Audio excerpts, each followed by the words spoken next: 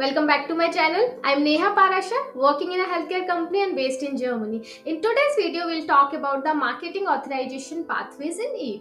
There are four types of marketing authorization pathways in EU centralized, decentralized, mutual recognition procedure, and national. So let's see each of these pathways one by one. But before that, let me ask you one question how do you decide which pathway will you choose for your drug? If you don't know the answer then don't worry. For sure by end of this video you'll get the answer to all those questions. Let's start with the first pathway which is called centralized. As the name indicates centralized meaning getting the drug approval centrally your drug is approved by one central body and this approval is valid for all the European Economic Area. In short, this European Economic Area is called as EEA, which include not only 27 EU countries but also three additional countries which are Iceland, Liechtenstein and Norway. So, the European Economic Area or EEA is comprised of 27 EU countries and these three additional countries. Now, what is the central body or committee who gives approval? There is a body called CHMP which gives opinion and based on this opinion in the end EC gives the final approval. So EMA's Committee for Medicinal Product for Human Use which is in short called as CHMP or committee for medicinal product for veterinary use which is called as the cvmp so one is for human medicines and one is for the veterinary medicines. So these chmp or cvmp these committee they carry out a scientific assessment of application and gives a recommendation or opinion. And based on this recommendation or opinion in the end european commission or which is called as ec gives a final approval in the end so this EC decision is issued within 67 calendar days uh, after receiving the EMA's opinion. If you're not clear how EMA, CHMP, CVMP and EC they all are different, then let me know in the comment section. I'll make a separate video on that. So now let's see when to submit the centralized application. The centralized procedure is compulsory for some category of product Meaning, if you are dealing with any such kind of products, then you have to compulsorily file a centralized pathway. And what are those products? Let's see that. Product containing a new active substance which are used to treat what kind of diseases? Let's see that. HIV or AIDS, cancer, diabetes, neurodegenerative diseases, autoimmune and other immune dysfunctionings, viral diseases, biological medicines which are derived from biotechnology process such as genetic engineering, advanced therapy medicines such as gene therapy, somatic cell therapy or tissue engineered medicines, orphan medicines which are used to treat rare diseases, and the veterinary medicines which are used as a growth or yield enhancer. So these are the products for which the centralized pathway is mandatory. But do you know why is it so? Why is it mandatory to go by a centralized pathway for such kind of products? Because they want to ensure that all the EU area gets privilege for some kind of critical or innovative medicines and not the only few countries. Therefore, you need to submit by a centralized pathway for such kind of products. So all the EU country gets benefit out of it. However, there are some products for which the centralized pathway is optional. What are those? Let's see that. For example, product containing new active substance for indications other than those which we just discussed now, right? Which we discussed so far. Apart from any other indication, if you are having any new chemical entity, we can, it's an option whether we can go by a centralized or not. So this is optional. Second, for therapeutically innovative products, for such kind of products also it's optional. And drugs with a clear added value for community and authorization will be in the interest of public. For such kind of products also, the centralized pathway is optional. Now the question comes, what is the approval timeline? And you can see this figure shows you the high level timelines on the centralized procedure and. Centralized procedure have some benefits. What are those benefits? Let's see that as well. It has well-defined timelines. You will receive questions at particular day. So you know you will receive question at day 120 or day 180 after the application which make applicants life much easier from a planning point of view. There are multiple options for scientific advices before centralized procedure so applicant can make use of this and applicant can seek the chmp's advice in advance before the submission because the one submission is done for entire EU countries and one review is performed all together therefore it's easier to handle in terms of dossier preparations and submissions. Also, we receive single approval in all member states, right? Which also makes it easier to manage from post-approval or life cycle point of view. And only one submission is required to be performed for product information, for example, SMPC, labeling, package leaflets. Of course, the submission has to be done in all EU language. So these were some kind of benefits which you will get if you are going by a centralized pathway. But we need to check what are the disadvantages also, right? So if we are going by a centralized pathway, we need to check with health authority if we are eligible for centralized pathway or not. And this need to be done before 7 to 18 months before submission. We have to submit uh, a request uh, which is called as a letter of intent before doing our submission. So we have a proper process for it. Then uh, what other disadvantages are there? Applicant cannot select the rapporteur or co-rapporteurs. So that's also a disadvantage. Um, copies of all the product information are required in all the EU language. So this is a heavy work, right? From a preparation point of view. So this is also one of the disadvantages. And the last disadvantage is either you receive approval in all the member state or in none of the country. So as we discussed what are the advantages and what are the disadvantages of the centralized pathway as we just saw when we need to submit the centralized application and how this work centralized pathway are used when we want to get the centralized approval of drug for all the eu countries. But if we want uh, any product to be registered in more than one member state which do not qualify for the centralized procedure then applicant must use either the decentralized pathway or the mutual recognition pathway which we are going to discuss going forward. So there is a clear difference when to use mrp when to use DCP, we'll see that one by one. So now first let's start with the MRP.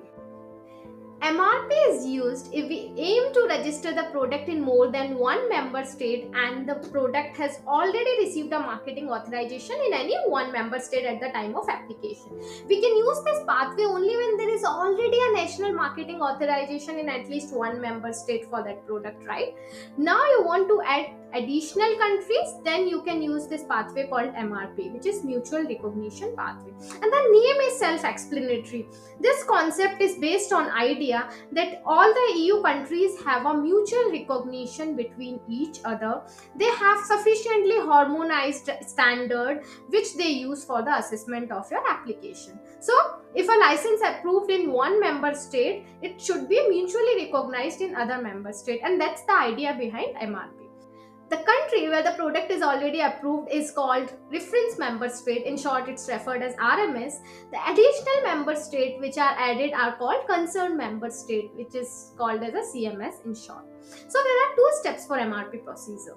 First step is national phase. First, we need to receive national approval in any one country which will be called as RMS and the second is MRP phase where we add the additional countries and authorization is granted in those additional countries.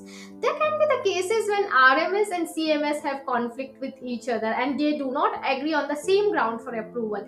In such cases, CMDH, which is a group, which is a coordination group for mutual recognition and decentralized procedure. This is the full form of CMDH. Okay, so the name is self-explanatory. This group is made to coordinate between RMS and CMS for both MRP processes and for decentralized procedure. So this group CMDH it supports to reach the agreement in case there are any disagreement between RMS and CMS. So this was all about MRP. There is a third pathway which is called decentralized pathway. Let's see what it is. Many people are confused what is the difference between MRP and decentralized. They have reached out to me asking for this clarification. So we can see that now in this video. Let's see that. So decentralized procedure in general follows the same principles of MRP. Both are applicable if you do not want to register the product in entire EU, but you only want to register in few countries okay? So you can go by decentralized procedure or by mrp any of these procedure but when to go for which procedure that's what we are trying to understand here right? So the ds dcp is to be used if we aim to obtain marketing authorization in several member states and if the product has not yet approved uh, marketing authorization in any member state. So your drug product has not received marketing authorization even in a single country so far. So what you can do, you can go by DCP and you can register your product simultaneously in all of those countries. For example, if you want to register your product in only six countries, then we can register our product in these six countries using MRP or using decentralized. But when we can use MRP, when you already have the approval in one country already then you can add additional countries using mrp but if you do not have approval in any of the countries then you can simultaneously submit your application to all these six countries using the dc so that's how we can proceed. So the main difference between mrp and dcp lies in the fact that in dcp you can make submission all the six countries simultaneously while in case of mrp we need to wait for approval from rms before the new application or before the new country is added okay so dcp also has a concept of rms and cms exactly like mrp where out of these six country one country will be selected as a rms other five countries will be CMS. We will be in direct contact with RMS for the application review. This RMS will coordinate with other CMS. So there are two steps for DCP process as well. The first step is assessment phase where all the countries review the application this period may last from 120 days or till 270 days depending on the queries. If we receive the queries the period get extended. And once the assessment phase is completed then all those six countries will review the application at national level. This is the second step. All the relevant document in local language are reviewed and this phase is called the national phase. So in mrp also we had two phases or two steps and also in the then decentralized we have two steps but these two steps are different for both the procedures. Again sometimes rms and cms they can have some conflicts and they don't reach to an agreement on the same ground. In this case they reach out to cmdh for the coordination. Decentralized procedure also has some benefits. What are those benefits? Let's see that we can choose in which country we want to apply depending on the market demand. So it's in our hand in which countries we want to go. We can select those country and go by a decentralized procedure. We can select rms but you remember in centralized procedure we do not have this option to select the rapporteur and co-rapporteur on our own. But for decentralized procedure you can select which country do you need or do you want as an rms we can withdraw country which are having major objections during the review process but only up to 120 days not after that. So that's also an option provided in decentralized procedure if early agreement reaches between CMS and RMS, then this decentralized procedure is possibly the faster route compared to other registration pathway. So we have to see all these benefits. We have to consider all these benefits while making our regulatory strategies. Okay. So these were the advantages of the decentralized pathway. But this pathway also has some disadvantages or drawbacks. What are those disadvantages or drawbacks? Let's see that one by one.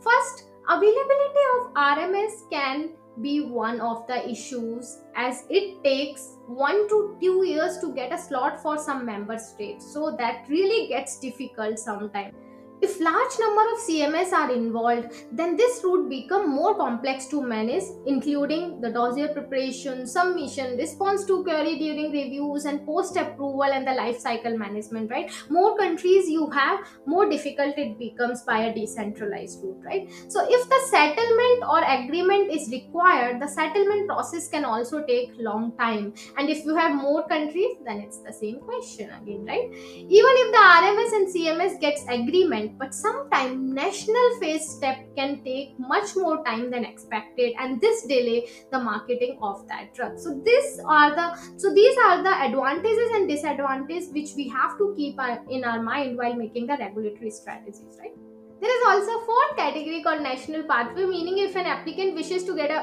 license in one member state, an application must be made to that particular national health authority of that country, which then issues a national license. So, this was all about centralized, MRP, decentralized, and national. I have summarized the details of each of these four types of pathway in this figure, which include who approves them, what are the timelines for approval, and which country uh, the authorization is valid in. So you can just go through this figure if you want to summarize or brush up the concept. Now before we end this video, do you know what is sunset clause?